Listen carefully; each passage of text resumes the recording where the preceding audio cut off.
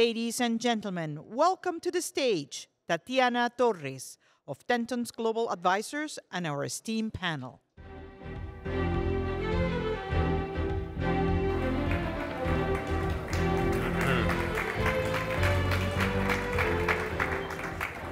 Buenos dias. Good morning. It's still morning, right? I think. Good, good. Just checking. Making sure we're all awake here. Well, I'm Tatiana Torres or Tatiana Torres, depending how you hear me this morning. Uh, honored to be here as a board member of Concordia, but also with these amazing gentlemen, and to be able to talk to you about something that's close to my heart, which is communication, um, but digital innovation in Las Americas. Uh, I am joined today by Anthony Casciano, an ambassador, um, Ramon Eduardo Martinez de la Guardia, and we're going to have a conversation as to what's happening in Latin America, what are the opportunities there. The World Economic Forum, obviously, I think we all know this and it's clear to everyone. COVID 19 did have an impact on a lot of the communication and exasperated and elevated and focused us on the deep digital divide that is in the US, but also in Las Americas. The Inter American Development Bank issued a report in 2020 that highlighted that three out of 10 Latin Americans are without digital access and internet. That is a staggering fact if you think about it, because technology ushers growth and education and the opportunity for entrepreneurs and citizens to have access to what we all need, which is the opportunity to be connected. Today, I want to talk to Anthony and the ambassador a little bit about that. And we want to hear from them and your opinion and thoughts as to what we're doing to improve and, and, and get the benefits from that great strides that we're making right now in Latin America. Anthony, I'm going to ask you first the first question, if that's okay. So we know that Latin America has made great strides, but what are some of the improvements that have, you've seen over the past three years since COVID um, that have been made to improve the lives of those citizens and entrepreneurs and give them access to technology through, through Siemens?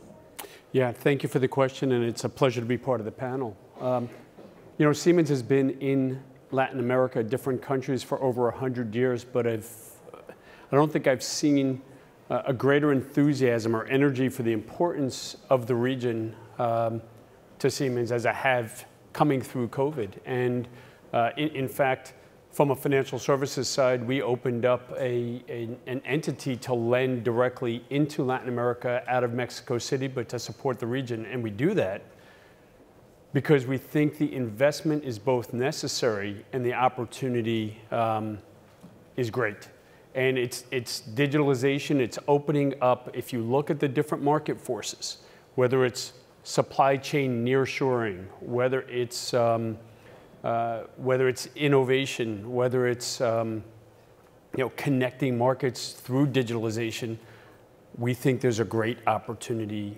We think there's a great opportunity there. So, you know, we're seeing um, factories being built, right? And, and you look at a factory being built and it's not going to look like a factory from 10 or 20 years ago. It's going to look like a factory of the future with modern technology, with automation, with innovation, with, with sustainability, green, reducing greenhouse gas, which is a, a major issue in some of, the, uh, some of the countries in Latin America. So when I look at it, um, and I spend a lot of time there. I, I, go there once a month to different countries, and we're working with hospitals, and we're working with factories, and we're working with large companies, but we're also working with the supply chain, which is small and medium-sized companies.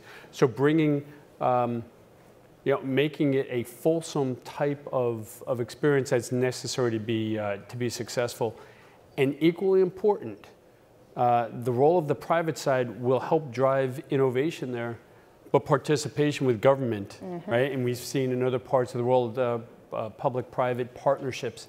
That becomes important as well. Absolutely. So. Right. So the, the public-private partnerships mm-hmm. are important. And in order to do that collaboration, we, we have to talk, like you just mentioned, about the workforce, right, and what yeah. that means. And I think that due to COVID, it's not a surprise to any of us, the workforce has been impacted around the world. That's one of the challenges that we're facing, job creation, right? So we talked about opportunities in digital innovation and what is being done. What are some of the challenges that you see uh, from that public-private lens um, that you're managing through? Well, first of all, thank you for, for the invitation. And this is a great topic to, to, to be a part of. Um, basically, our government, uh, one of the goals is to reduce poverty and inequality, and, and by doing that, we need to get the people uh, connected, give them the tools that they need to, to succeed. Uh, what Anthony was saying about public-private partnership is absolutely critical.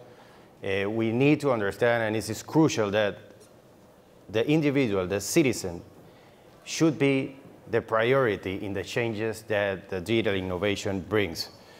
So I think it has to be addressed in, in three perspectives, people, technology, and process.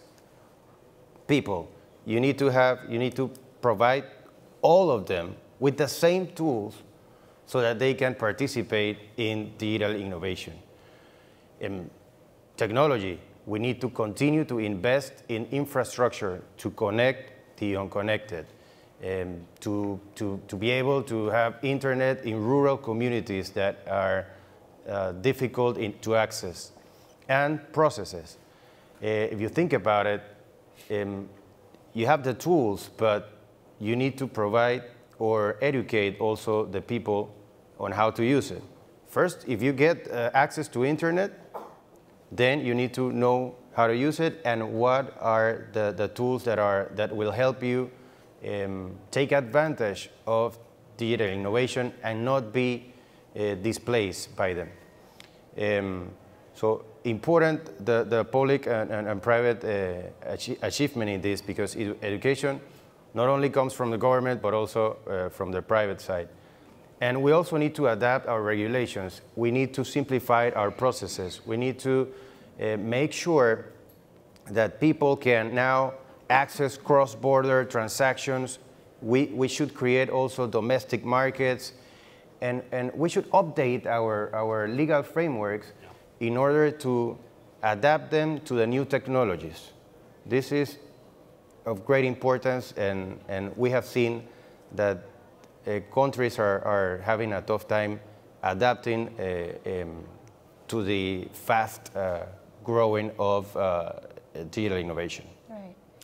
So, uh, Anthony, do you want to say yeah, something? Yeah, maybe just a, a, comment there because I think we're in a beautiful building here, and we sometimes take it uh, take for granted what we have in the U.S. But you talk about basic needs, right. basic infrastructure, um, access to education, roads and, and, bridges and airports and, and, and metro, um, uh, the web, right? Just things that we take for granted that, that still needs to be built, that, that infrastructure needs to be built to create the access, uh, to create the access to kind of level that playing field. Recently, uh, the federal, uh, the head of the, uh, the Federal Reserve, um, Jerome Powell talked about in the US, there's a shortage of, uh, there's, an, there's 5 million jobs that are open that can't be filled, right? That's structural, that's not transitory, it's structural issues. And so how do you fill it? The only way you, the only way you create that capacity is through, um, through technology, right, and through automation, but also opening the markets and opening the markets to our closest regions. And to do that, there needs to be the same types of infrastructure that we have here. And the digital innovation, also, since we are in a university, right, it's important to talk about how we educate, not just the workforce, but the students that are coming, those that are tiny, to the ones that are sitting here getting master's degrees, not just at this university, but across the board. So education is, is a key part of this conversation. The workforce is as well, but you can't have an educated workforce without the education first, right? That's right. So when we, we talk about education, we talk about those that we're preparing. You said we're in a beautiful building today. Most of us have iPhones, Androids, whatever the phone is that we have in our hand, we have access to that. We have some of the challenges, but how do we close that gap in Latin America? How, what, what can we do? What are some of the ways that we can go and say, okay, this is what we need to do? And obviously, equity is important in making sure that people are able to have access to that, that are not in certain sectors of a city, but the whole city, the whole state, the whole country. Thoughts on closing that gap? You know, I was, I was on a panel just last week talking about um, diversity and access access to capital inside the supply chain, access to capital for small and medium-sized companies. And you look at it and um, there's no large, good performing company that can't access uh, you know, capital, Um, there's no uh, there's no high net worth individual that can't uh, that can't access capital through their banks. But the the reality is, small and medium companies. Um, make up 90 plus percent of all companies, right? The biggest employers when you look at it in, uh, it doesn't matter where you are in the world. And, and so when you talk, um, when you talk to, to, to, to owners of those businesses, it is access. It's access to be able to innovate. It's access to be able to scale. It's access to be able uh, to level the, you know, the level the playing field. And um, and so I think that's where it's really fertile ground for us to invest in. And I don't mean just um, uh, all supply diversity. Uh, diversity matters. Siemens has 16,000 suppliers in the U.S.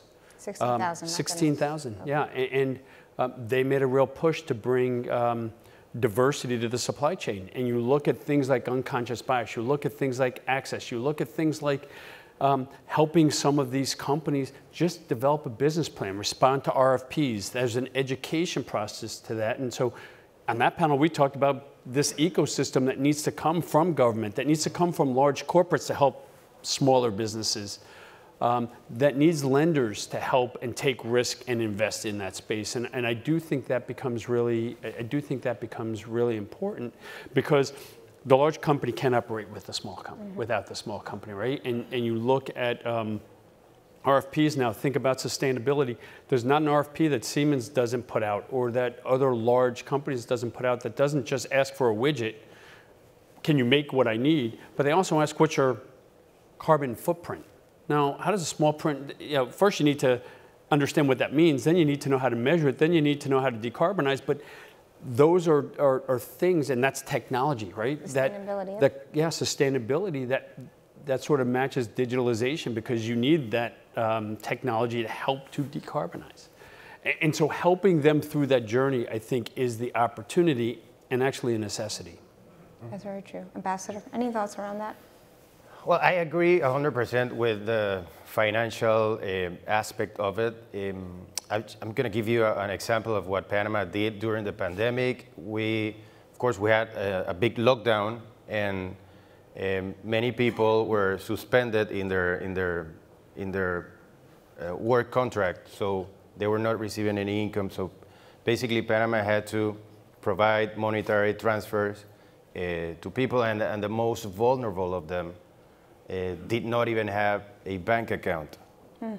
Okay, so we're talking more than 1.4 million Panamanians did not have a bank account, and by an innovation that transformed, we did like a, a digital voucher, and what we did is the ID card, the personal identification card, we call it the cedula, um, we did an innovation so that that was used as a debit card.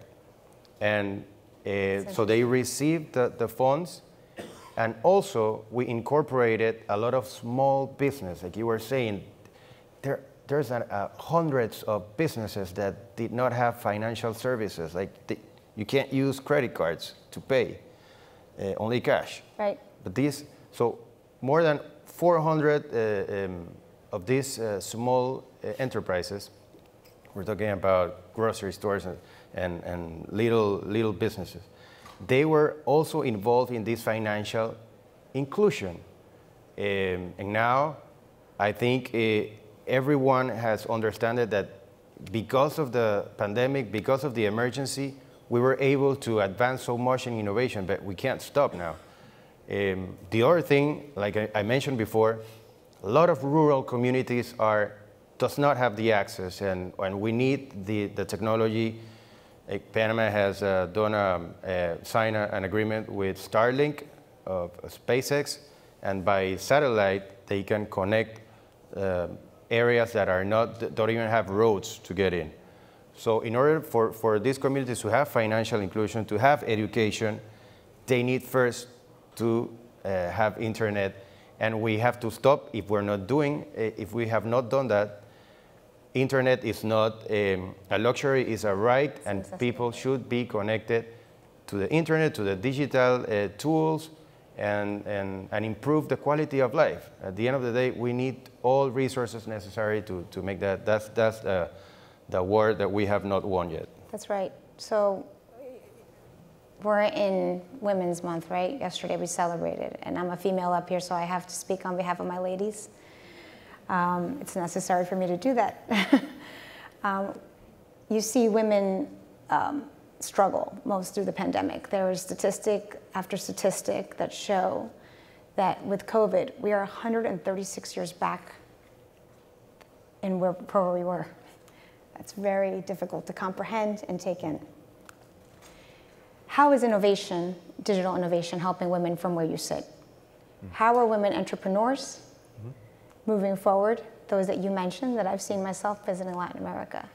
How are we helping women move forward throughout these conversations of digital innovation? I'm going to give that to you Okay. first. So again, we need the technology and the digital innovation to put it in, in, in, in place and in practice for, for the most vulnerable, and um, we need to give opportunity, equal opportunities to women. And- for example, in Panama, we did a, a number of, uh, of projects that involve uh, helping with financing, uh, marketing, um, the, the, the- complete structure of how to operate a business for uh, women that own uh, small companies. And at the end of the, of the, of the process, they were able to um, sell their goods in the local market, and some of them even got cross-border to export goods.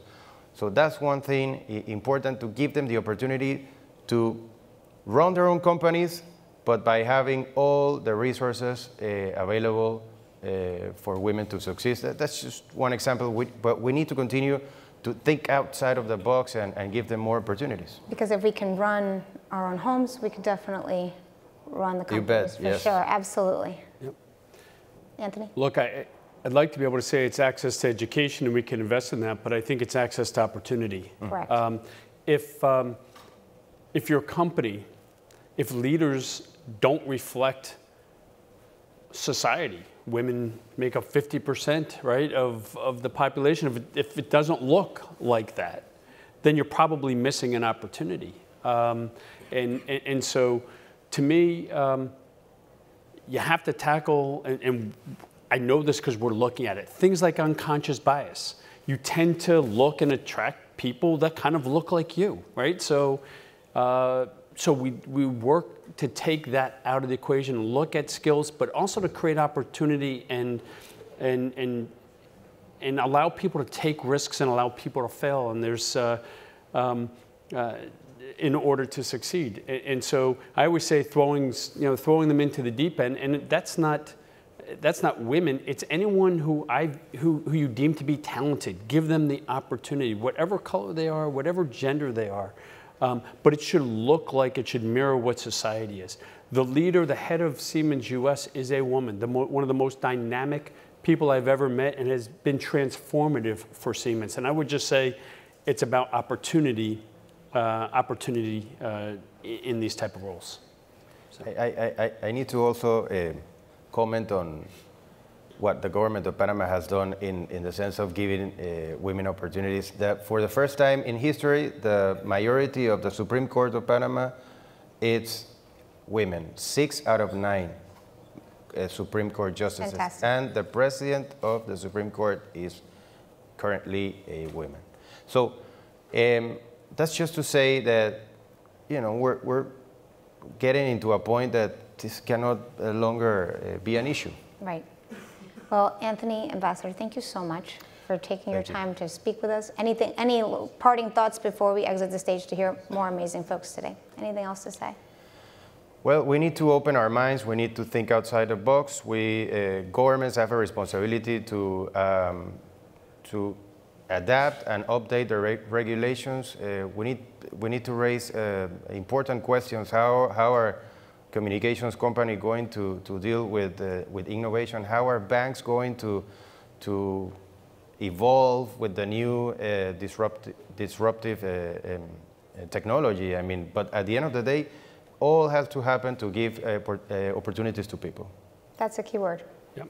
So I know we have just a little bit of time. I, I would say this: in my career, this has been, right now is the most exciting time, um, it- it's the most exciting time in my career. Between reshoring, nearshoring, between digitalization, between sustainability, these are all market forces that can create opportunity if we reach for it. And I think Latin America has to be part of that. Absolutely. Um, otherwise, candidly, it gets left behind. So That's right. let's seize the moment. Absolutely. On that, thank you so much for the opportunity to listen to us. Continue to enjoy your time here at Concordia.